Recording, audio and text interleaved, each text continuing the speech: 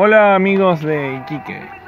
Bueno, les comento que en estos últimos dos meses han llegado dos emisoras de corte tropical a la ciudad. Eh, la primera de ellas es la 107.7, que es Radio Colo Colo, que es una mezcla en realidad de radio de rancheras, de cumbia, programas religiosos y bueno, y es la radio Margarate que impulsa su moringa, que es un producto natural que tiene muchos beneficios, se supone.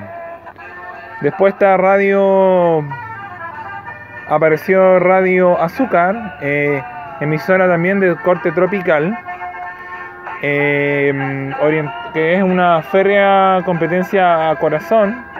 Y también informarles que próximamente Radio Candela, Radio Candela de la ciudad de Iquique, que es eh, actualmente es la 89.3, que tampoco lleva mucho tiempo en el dial, pues reemplazó a Radio Infinita, será adquirida por Radio Disney de, Santiago. Entonces, lo más probable es que esta emisora, la lógica sería que vuelva esa emisora Disney, aquí que, que, eh, que aparezca en el dial, si no, la otra opción es que vuelva a Infinita, como yo les mencionaba que se me ha ido. Y eso sería una transmisión experimental de lo que es Radio Cúbito, la anatomía perfecta.